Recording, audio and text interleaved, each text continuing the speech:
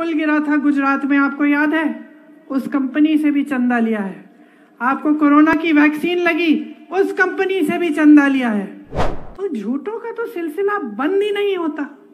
हर स्तर पे झूठ झूठ झूठ। देश के सबसे बड़े प्रधानमंत्री जी जो सबसे बड़ा पद ले रखे हैं देश में ऐसी बकवास की बातें आपके सामने चुनाव इन्होंने भ्रष्टाचार की एक बहुत बढ़िया स्कीम निकाली।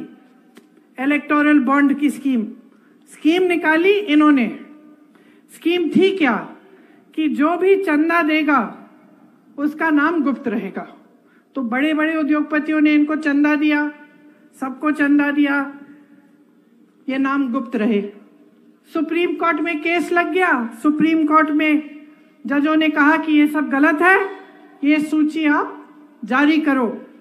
सार्वजनिक करो इसको. सबको दिखना चाहिए कि किसने कितना दिया और किसको दिया है। तो सब सच्चाई बाहर निकल आई। सच्चाई क्या थी, बहनों और भाइयों?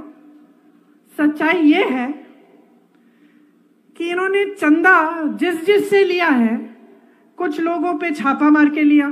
पहले छापा मारा, चंदा ली, पीछे हट गए। केस डाला, चंदा लिया, केस बंद। ऐसे ऐसे लोगों से चंदा लिया, कंपनियों से। यहाँ पे आपका एक पुल गिरा था गुजरात में, आपको याद है? उस कंपनी से भी चंदा लिया है। आपको कोरोना की वैक्सीन लगी, उस कंपनी से भी चंदा लिया है। तो चंदा नहीं, वसूली थी है धंधा था इनका। आज सामने आ गया है सबके। सामने आया तो हर मंच पे खड़े होके ऐसा कहने लगे कि हमने तो इसको पहली बार देश में ये सूची पारदर्शी हुई है। पहली बार हमारी वजह से पारदर्शी हुई। अरे भाई, स्कीम गुप्त बनाने की स्कीम तो तुम्हारी थी। अब जज ने बोला, पारदर्शी करो, पारदर्शी कर लिया। अब कह रहे हो कि आप ही ने पारदर्शी बना दी है। तो झूठों का तो सिलसिला बंद ही नहीं होता। हर स्तर पे झूठ झूठ झूठ। अब आजकल पता नहीं क्या हो गया है प्रधानमंत्री जी को। घर में शादी होती है। हर परिवार में ऐसा होता है, शादी होती है। तो शादी के समय आपने देखा होगा, मैंने बहुत बार देखा है कि हमेशा एक अंकल जी होते हैं। जो कोने में बैठ जाते हैं और अपना छोटा सा दरबार लगाते हैं। लगाते हैं कि नहीं? होते हैं ना। जो भी बोर हो रहा होता है, वो कहता है कि भाई, सुनू मैं अंकल जी क्या कह रहे हैं। जाके सुनते हैं कि अंकल जी क्या कह रहे हैं। आज कुछ ना कुछ नया तो लाएँगे। और अंकल जी सबको अपना ज्ञान देते रहते हैं। देते हैं कि नहीं? है ना?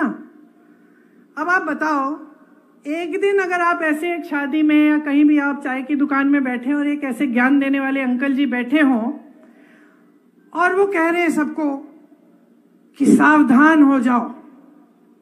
अब जब सरकार आएगी ना कांग्रेस की तो एक्सरे की मशीन लाकर तुम्हारे घरों में जो बक्से पड़े हैं और जो घरों में तुमने छोटा अपना बचत अपनी की हुई है, या तुम्हारी महिलाओं के जो मंगल सूत्र हैं, उसको एक्सरे से निकाल के ये सरकार चोरी कर लेगी और किसी और को दे देगी। हंस रहे हो ना? मान लो किसी चाय के दुकान में या किसी शादी में किसी ज्ञान देने वाले अंकल ने ऐसी बात कह दी हो तो आप क्या कहते? आप कहते कि भाई, आज तो अंकल ने बहुत बड़ी बात कर ली। खूब गहरी साजिश निकाल दी। हँसते ना। हँसते कि नहीं हँसते? आप कहते हैं कि क्या बकवास कर रहे हैं यार अंकल? कुछ नया सोचो।